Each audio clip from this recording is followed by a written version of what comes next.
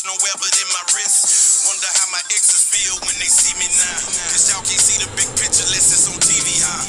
Well, I'm on TV now, living like I said I would. Greatest of all time. So, what is it disrespectful to see. that makes you so dedicated to music, or what is it that makes you dedicated to what you do? It's all, I mean, it's like it won't let me go. I just try to quit, you know, and do something else. It be that doubt sometimes, you know what I'm saying? Make you want to quit. Been spent all that money and then it ain't guaranteed when you know you can make some investments and, you know, you're more likely to come up. So, but for me, it's just I can't quit. Like yo, I done put too much work in, spent too much money, went to prison behind it.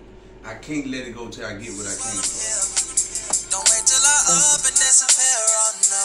Ahead of my time and it's clear. You still ain't noticed the